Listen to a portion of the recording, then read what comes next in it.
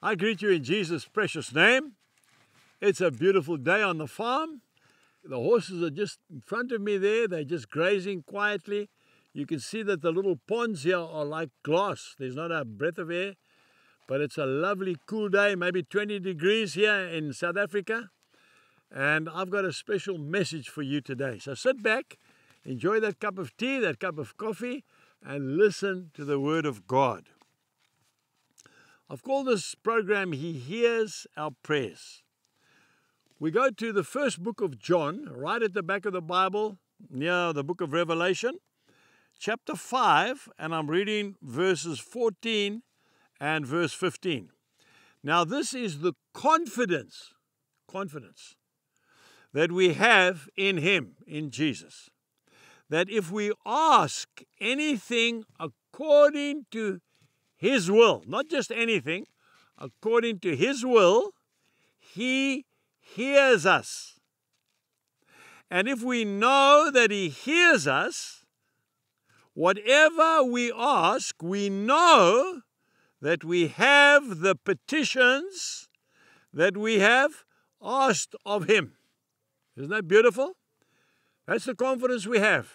The confidence we have is that the Lord listens to our prayers. Don't try and tell him what is good for you or for me. He knows already what is good for us. We need to pray accordingly. You see, that relationship you are having at the moment, take it to the Lord and leave it at the foot of the cross. He will undertake. Don't tell him how you want the relationship to work out. Just say, Lord, I've got a problem here with between my wife and myself between my girlfriend and myself, between my brother and myself, between my business partner and myself. Please help me, Lord. That's all you got to say. He will do it for you. He knows what's good for you.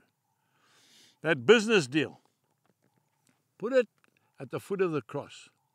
You know, I remember many, many years ago when I had a big 20 ton Mercedes Benz truck with a big yellow trailer called the seed sower. And we took this truck right into the heart of Central Africa. And in those days, the early days, there were no cell phones. Cell phones were not invented. Well, they definitely weren't in Africa anyway.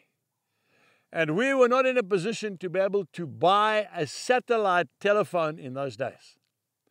And so I would go in that seed sower and I would preach the gospel for up to six weeks. I would be away from home. That's traveling time up into Africa, traveling time back. We're talking thousands of kilometers across some of the biggest rivers in the world. Two of them. One was the Limpopo, the other one was the Zambezi. And then we had the Kafue River and many others. I used to get very lonely. Not that there was no people, there were thousands of people. But I was on my own. My family weren't with me. I had some good men with me, but I used to get lonely. And then, the, you know how the devil works? He starts telling you stories. Oh, well, your family's on their own. You can't even get back to Shalom Farm if you needed to. First of all, they don't know where you are. They can't contact you. And it, that talking would start. Then I would pray. And I say, Lord, please undertake. And I'll never forget the one day we were going through a little village. And there was a United Nations office or some NGO of some Christian organization. I went into that little office and there was a lovely young Zambian lady sitting there. And I heard music, Christian music playing, and I think I started to weep. I said, I need to get hold of my wife. And she said, No problem, I can sort that out for you. So we got a contact. And I picked up the phone and I heard Jill's voice, my wife's voice. Hello, Angus. Well, folks, that was it. That's all I needed to hear. Are you okay? We're all fine. We're praying for you. We love you. And that was the end of the phone call. That kept me going. Now, you and I need to do the same thing. We need to pray and then leave it in God's hands, and He'll do the rest. God bless you and goodbye.